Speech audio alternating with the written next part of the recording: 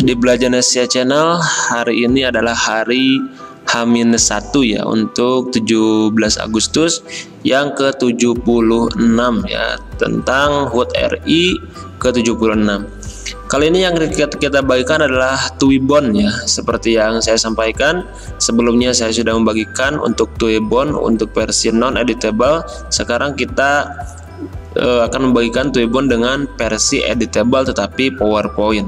Bagaimana cara menggunakan dan cara mendownloadnya kita langsung saja pada pembahasannya. Oke, di sini teman-teman seperti biasa kita sudah siapkan untuk file formatnya. Filenya di sini ada 5, teman-teman sudah bisa lihat.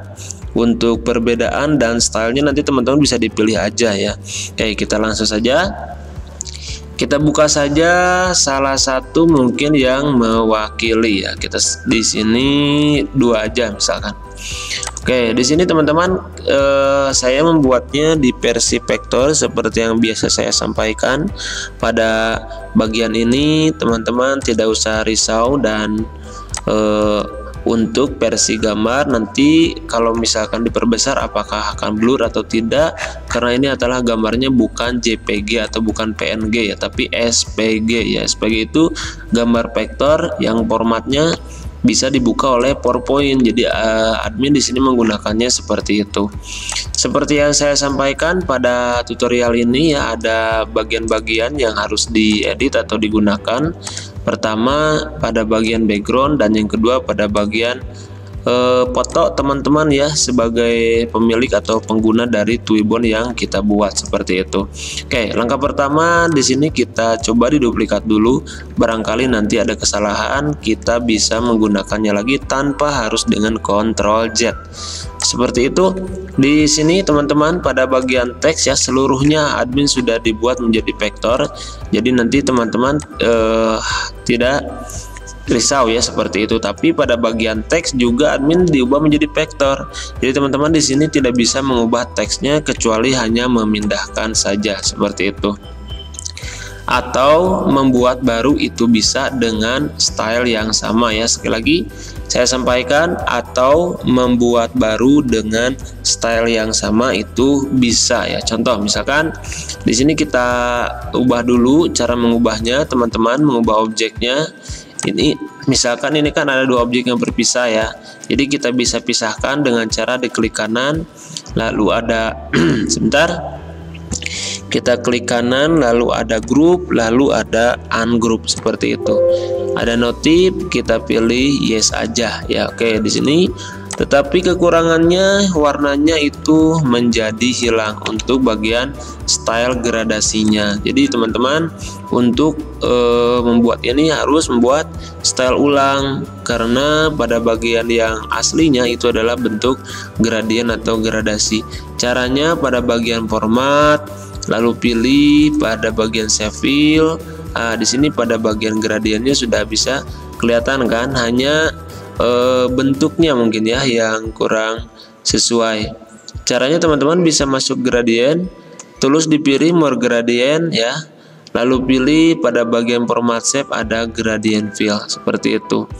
Kita tinggal di pada bagian gradient stop kita close aja yang ini juga sama kita tutup atau kita hapus dan pada bagian gradient stop yang ini kita pilih warna putih Nah, teman-teman semuanya kita coba warna putihkan dulu ya semuanya.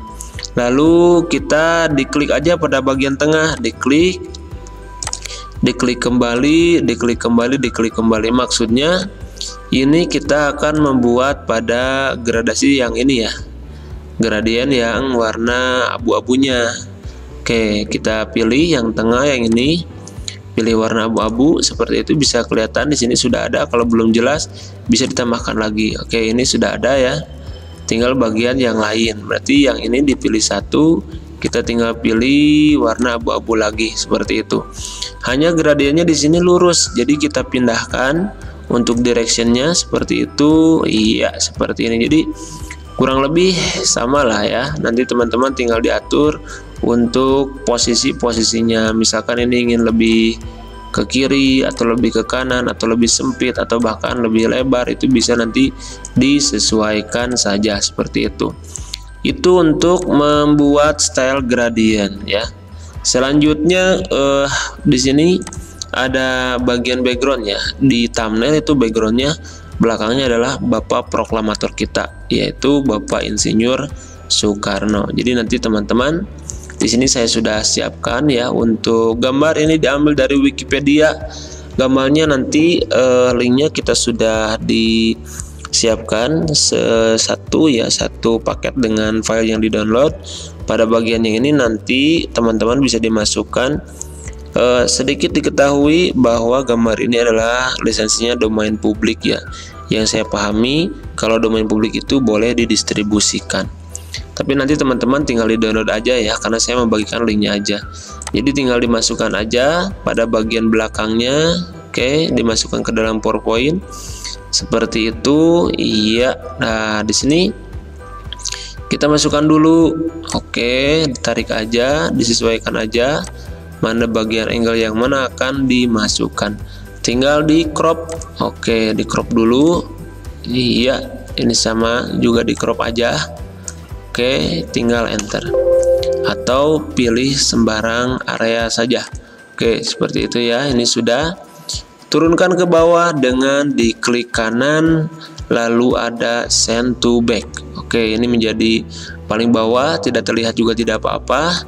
Kita gunakan save pada bagian paling belakang yaitu warna merah kita tinggal ditambahkan transparansinya teman-teman. Ini bisa dilihat belakangnya sudah berubah ya. Atau ada bayang-bayang Bapak Insinyur Soekarno ketika membacakan teks proklamasi untuk negara Indonesia. Selanjutnya untuk memasukkan eh, bagian foto yang ada di background yang ini ya di depan background itu mudah sekali teman-teman. Jadi caranya tinggal kita buat saja satu buah rectangle di sini. Ada oval lalu dipilih ya. Seperti itu silahkan disesuaikan dulu untuk lebarnya. Dan tinggal kita masukkan untuk modelnya. Dengan cara diklik kanan aja dulu. Lalu ada fill ya di sini. Atau bisa masuk pada menu format save fill dan dipilih picture ada from file lalu ada picture di sini. Nah, di sini misalkan teman-teman menggunakan gambar yang lain ya. Kita menggunakan gambar adik kita aja ya. Kita insert oke. Di sini bisa dilihat gambarnya menjadi distorsi teman-teman. Kita bisa ubah pada menu format lalu ada pada menu crop ya. Di sini bisa ditarik pada lingkarannya dan ini ditarik pada bagian bawah.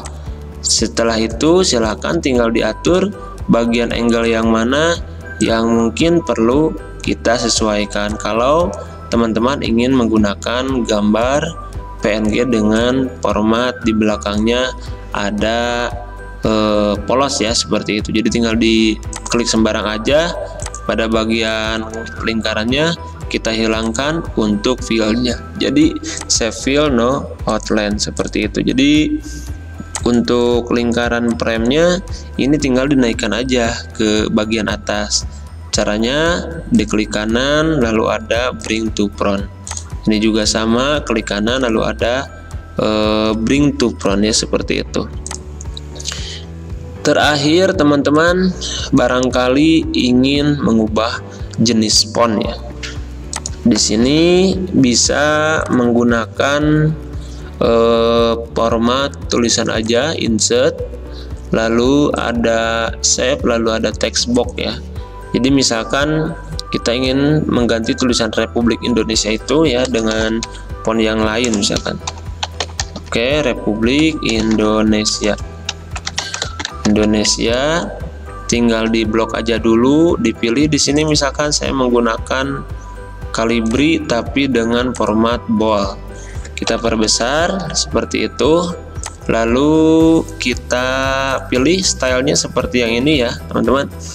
Ini seperti yang tadi kita pilih pada bagian text fill ya. Lalu ada bagian gradient lalu dipilih aja. Seperti itu ada more gradient.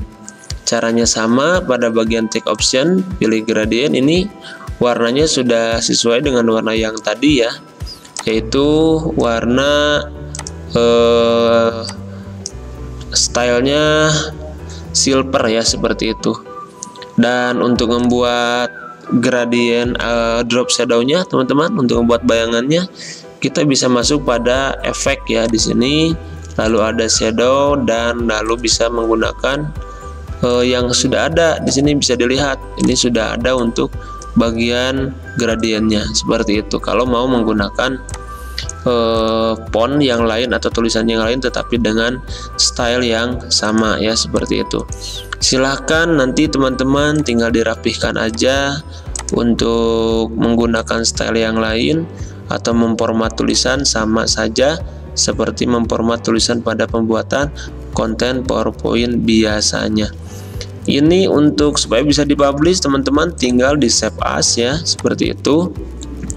Lalu ada picture dan kita pilih di sini ada JPG ya atau PNG juga boleh kita tinggal save aja uh, just this one karena hanya satu nah ini adalah hasilnya. Jadi ini Twibbonnya bisa tinggal dibagikan untuk teman atau dipakai di icon sosial media baik di status WA ataupun di sosial media yang lain. Oke sepertinya itu dulu untuk tutor kali ini teman-teman tentang Twibbon 17 Agustus 45 mudah-mudahan bisa bermanfaat.